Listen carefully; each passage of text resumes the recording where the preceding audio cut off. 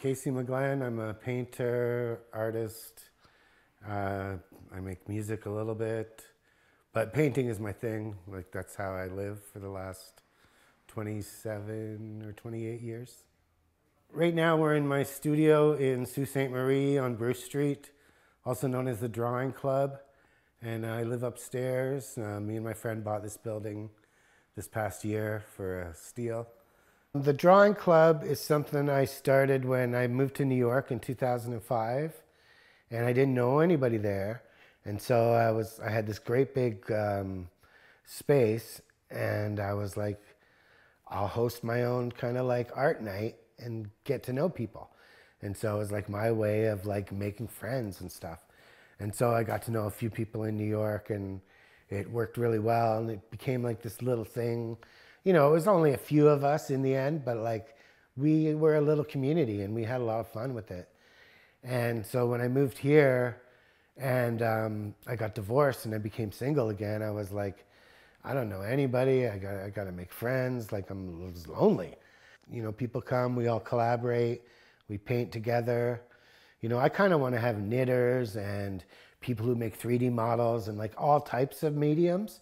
Uh, my ideal goal is like total mixed media mashup, you know, where it's just like, oh, I never thought of putting that with that, you know, and those kinds of things. Getting people who are really good at their thing come and like teach me and teach other people. Like, you know, I'm good at what I do.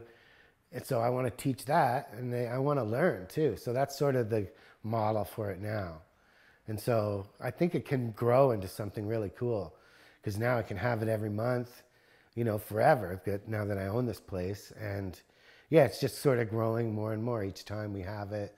There's more people coming out, people bringing like, you know, their, you know, people who are like, oh, like my, my son is kind of an outcast. He doesn't fit in at school. Can I bring him? I'm like, yeah, that's who we want. Like, it's open to people like that, which I think is a great resource to give this community, but also like, it's great for us to like you know, see us when we were little and what we were like, you know, and remember. And then those kids will be like, shit, there's people like me out here.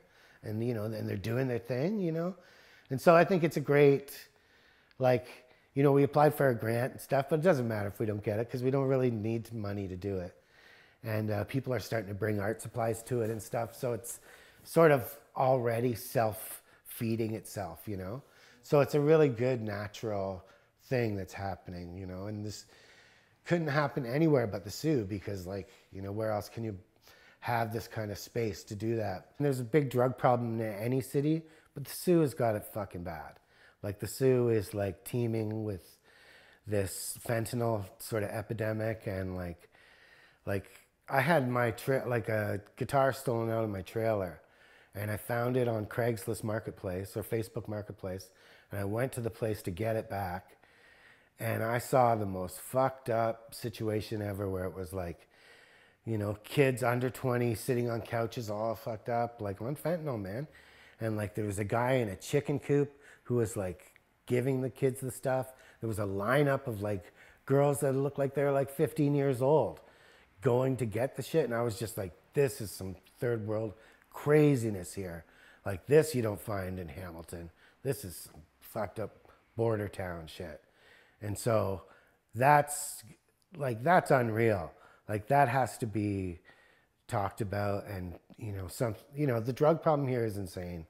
And you know people have to start facing it in a bigger way. Like we need to have you know programs where and safe spaces for people to do drugs. You have to start with that. Yet you know like it's i don't know. There's so many so many levels to it that i i don't even know where to start but like the drug like epidemic here is out of control. And like people have to face that. Like the people in the suburbs and shit who don't get their building broken into five times in a year they have to understand like this downtown shit is got to be straightened out. I don't know as the decades have gone by you know the middle class has kind of like drifted into like there is no middle class now. It's like upper class, lower class kind of lifestyle. And so the people at the bottom have got it even worse now they have nowhere to strive for even. I kind of got into art because I was like suddenly making a living at it, making money at it.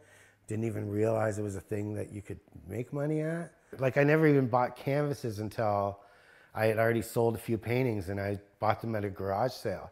And like I wouldn't have been able to afford them otherwise. And I remember for like 80 bucks, I got like a few large canvases like this and did my first sort of batch of paintings. And it was like really, you know, that's what got me realizing, wow, this is fine art. You know, like I can sort of mask myself as a fine artist, like pretend to be that, you know?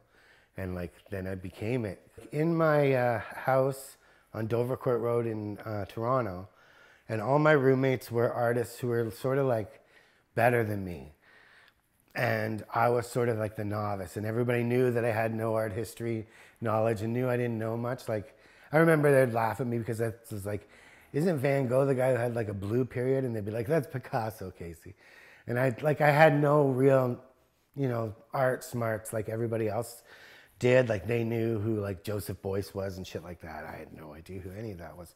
And so there was this one night where I was like literally using like a piece of my um, roommate's like paper and using their supplies, and they were all up in bed sleeping. And I remember I drew this animal like with four legs, and then um, it was a sheep, and then I sort of did like the wool was like um, I don't know if you ever had like a plate of spaghetti, and then there's your sauces on the plate when you're done, and you like draw in the sauce, and you like make this sort of three dimensional woolly looking line drawing. So the wool was like that. I sort of had this pictograph style where I was like I did like a little painting here and a big painting here and a little one here and the they were all animals and when I looked at it for the first time, I thought like this is art. Like I and I saw I sort of remember sort of being like, oh, I'm an artist like my friends here in the building, you know, and they're all asleep. And I remember even thinking like that night, I was like, I'm I'm being born into being an artist tonight. And that actually is what happened. Like I accepted myself and I had that was me finding my voice kind of. And it was the animal form that sort of led me to it. Like I remember earlier in the day, there was a big cat fight up front of my uh, house. These two cats were like wrestling and fighting. And before I drew this, I had drawn these cats, and it sort of got me into the four legs, like a four legged thing. I remember years later, I was like, you know, doing my art for a living and shit. And I was in Holland with these um, patrons of mine who like would buy tons of my stuff and then fly me to Holland, and I would paint in Holland and there was this Dutch newspaper who was asking me the same thing, like, "Why? What's with the horses, Casey?" And I was like down on my all fours, and I was doing a demonstration for this group of people, and I was like, "What do you mean? What's the horses? I am the horse. Like, look at me. I'm like on all fours here, like a work a working animal." And also, the horses were selling too. Was the thing? It was like I had this whole era where I painted horses, and like people couldn't get enough of it. And I was like, oh shit. You know, I'm kind of like, you know, part of me is an artist, but part of me is like to survive as an artist, I'm like a business guy. And so I was like, yeah, paint more horses, man. This is good, you know. And people criticize me and shit for that, but it's like, I'm still here, you know, and I don't paint just horses now. Yeah, I, I look back on it with no regret now, but I'm, I remember even at the time, I was like, oh, I gotta paint something other than these fucking animals. It was like an obsession of mine. Like, I felt like, you know, it was really deep in me, but at the same time, I was like, am I doing this just for money? Am I, you know, I had all this conflict about it. It's only now that I realize, oh, I've been doing this ever since I was a kid. You know, I, I sort of thought my style developed like, you know, in the 90s, but actually developed in the 80s and even in the 70s. I was like, I would sit in front of TV and instead of doing sports and playing outside, I would like watch Happy Days and Laverne and Shirley and like Three's Company, and I would like make myself as a character in those shows. And I did like hundreds and hundreds of drawings of like me in Kiss or me in ACDC. And it was always me as a part of it. So I've always been sort of autobio, pop culture merger kind of thing. Partly why I moved to Toronto was this band, the Rheostatics, who I had written a letter to Martin, the lead singer, while I was in Ireland. Um, just like when I was 19, I went to Ireland for three months. And I asked him if I could join the Rheostatics. And he's like, Well, we don't need a tap dancer. I said, I tap danced. And he goes, But uh, my brother's looking to start a band. And so I actually moved to Toronto and started a band with his two brothers, John and Doug. And like, was kind of like the Rheostatic stalker for a while, where I like volunteered at their record company you know, was in the band with his little baby brothers, like was at his house sometimes, like, you know, while we were practicing and shit. And they were just like, this guy is just everywhere in my life. I'm this extreme kind of person where if I like something, I like dive into it and I, it becomes me, I become it. And uh, yeah, it was like that with the Rheostatics where I just wanted to be near them. They were like kind of, I sort of say they're like my Velvet Underground or, you know, where like I just wanted to be around that level of creativity, you know, because I thought it was like the highest level in the country. Like they're one of, the, you know, I still think of them as one of the greatest Canadian bands of all time. That's sort of where I found my voice in a way as a painter was was kind of through them and through painting and going to OCA. I have a weird relationship with OCAD. I took this course called an independent study where you um, basically do your own thing and then you bring in what you do once a month and you get critiqued by these teachers. I was painting all on found materials, so I'd go to like the wood shop and I'd take like stuff out of the cutout bin that people had thrown away. And it'd be people's old wood projects and shit that they abandoned. And so I would work on those because I didn't have a lot of money. And so I was just painting on anything I could. Anyway, so I showed up at this independent study critique and I had 80, around 80 pieces. And I thought, like, you know, it's been a month, like, I got to show them everything I did. And the teachers were like, Is this like everything you've done in your life? And I'm like, No, this is what I did for the project. And all the other students were like, What the fuck? Like, they had brought like 10 things and stuff. And then, like, they called a couple other teachers down to look at it. And they were like, This is some freaky shit going on here. This guy's like painting like crazy. And that's when I sort of realized, okay, like, I'm not really taking this course they're learning from me, you know? And that's what happened. They're critiquing me and shit, but they were buying my stuff.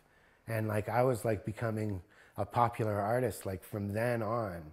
I remember that same year is when I got with my gallery, Bau-Xi, where they saw the open house at the end of the year and like they signed me kind of like from there.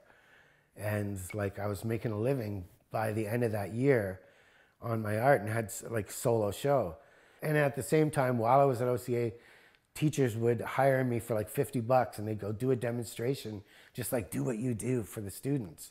And you know, I'd do some crazy shit where I'd like take a branch off a tree and come in and like draw with a branch and just like primal shit, like teaching them like, you know, don't be, you know, don't have these parameters of art school. Like art is like fucking insane. You gotta have fun with it. You gotta like feel your animal self come out and that's when you make something real. And so like the teachers love that stuff. So I was like, you know, I'd get low. And they, the teachers also knew that I didn't have a lot of money. So they'd be like, okay, you can give Casey 50 bucks. And, you know, if, if you want to have him do a demo for your class, you can like, the students will really, you know, soak it up. And so that happened a few times where I was like lucky enough to like be teaching while I was going there. A lot of different things, doors closed and other doors opened kind of situation. And then I realized, I'm selling my paintings like by the end of it, and it became my path. You know what I mean? Like it didn't. I didn't look for that path. I wanted to be like a rock star. So like art to me was like the sort of I don't know something you do for fun. I never even dreamed of making a living at art ever until I was, and then I was like, holy shit, I can do this for a living. Like I remember when I sold my first painting for a thousand bucks, I was like okay, this is it. I'm doing this now hard. I mean, years later, I was at this thing called the Outsider Art Fair in New York City. And like, you have to be self taught, and um, you couldn't have gone to any art school to be in this art fair. It was like super prestigious in this big building downtown. And like, I was killing it, making tons of money and shit. And the bigger art galleries that were there for years found out who I was and kicked me out and they were like, "This guy's went to OCA and all this stuff," and I was like, "Yeah, but you don't know my situation." Like I was like kind of discovered there, And so I, my teachers from OCA, like I think the dean of OCA wrote a letter and said, no, Casey is like a special circumstance. Like, sure, he went to OCA, but like he was his own thing there. And like, you know, I, I forget what they wrote, but it was basically like nullifying my degree. And like, they were like, we've never done this before. Usually people are like, tell them I have a degree, you know, but I was like, tell them I don't, you know, like prove to them like I, I belong here, you know, in this outsider art world because like I kind of do. I knew that kind of life was like right, you know, knocking at my door. And like, I had all this luck too in the beginning with my art where I would have articles written about me and stuff. There'd be references to other like really big Canadian artists and me and all these circumstances that at the time I had no idea because I was totally had no knowledge of art and art history like how lucky I was. But now looking back, I'm like, holy shit, dude, you really lucked out. I met uh, Daniel Johnston when um, I used to do these shows with these buddies of mine, the Griffin brothers, down in Atlanta, Atlanta, Georgia. It was called Folk Fest. It was this really great kind of folk art show with all these southern artists. Like Howard Finster used to go to it. That's where I met Purvis Young. Um, yeah, and then one day, like Daniel Johnston walks in with his sister Margie, and uh, has a booth right next to ours. And like I was like, holy shit, that's Daniel Johnston, you know. He was like looking at my paintings and saying, "Oh, I really like this one. I really like this one." Like I was just blew my mind. You have a booth at a at a trade fair next to someone, you sort of become buddies with them. And so me and Margie were talking, and Daniel was, you know, hanging around, and I we all kind of like were trading stuff and getting into each other's work and I did these really giant things and he always worked small and I was he was like maybe I'll work big like this. And I was like yeah you got to work big. It'd be amazing you know? And we were just like you know and I had other friends that knew him a little better. And so they were like come on outside. Let's, let's you know we go outside and then like everyone was talking about what medication they're on. And then we were all swapping meds and being like I'll take your medication. You take my medication. It was just like this crazy kind of, you know, atmosphere where he was having so much fun with his sort of like moderate celebrity at that point. Like everybody kind of thought he was amazing. And he was also doing uh, little concerts at the thing too, where he would play whatever song he was working on, he would play it over and over. And so he'd get out and he'd sing the same song like three or four times. And it would be, it blew us away that he was so crazy, like so cool that he would just do the same song over and over. But like other people were like, why is he playing the same song? And we were just like, that's awesome, man. He doesn't give a shit about anybody, right? Just one of the coolest people I ever met. And like all my friends who are artists down there too, like all were really in awe of him, you know, and his like sort of like childlikeness and sophistication in his art at the same time was just like off the charts. He was just one of the best people I've ever known. Yeah. yeah. How, how, did you feel when he passed? Oh, I was so sad because I knew he was on heavy medication, you know, and I wondered how much that had to do with his passing. But also, he had a crazy bad diet of like, you know, Mountain Dew and, you know, candy and stuff. So I knew it was a, a number of things, but yeah, he was so young, you know, and it also, you know, scared the shit out of me too. Like, he's a chubbier guy too near the end, and a, like I, maybe that's partly instigated me to losing a bit of weight. Like I was like, oh man, I don't want to go like as young as Daniel did. You know, the world lost like a true genius and such an influence on the world. You know, and it's great that people kind of acknowledge it now. And they did when he was alive too. I'm glad he got a big kind of resurgence near the end of, you know, all these bands doing his stuff and taking him out on the road and stuff. My own mental health and struggles with that have been a, you know, art has been kind of my savior in some ways because it's where I sort of recalibrate myself and then become like uh, content again.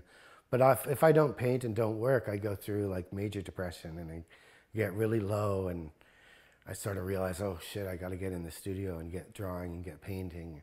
And now I always try to keep drawing and keep something going like every day. Just to keep my brain in check.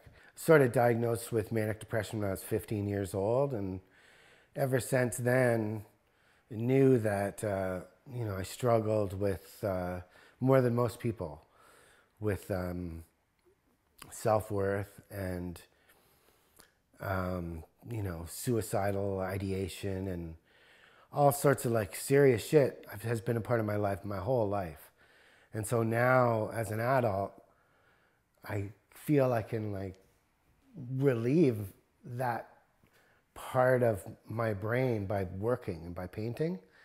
And uh, and yeah, I put a lot of it into it. Whereas like I'll talk about, you know, the pills I take, or I'll talk about, uh, you know, how I struggle. And so I call it like my magic trick, where I like no matter how low I get, I always have this magic trick I can do where when I'm painting, I lose time, and time just shuts off. And there'll be periods where I'll just be like up close to the canvas for like an hour, and it'll seem like five minutes to me. And that's magic. Like to me, that's the magic. You know?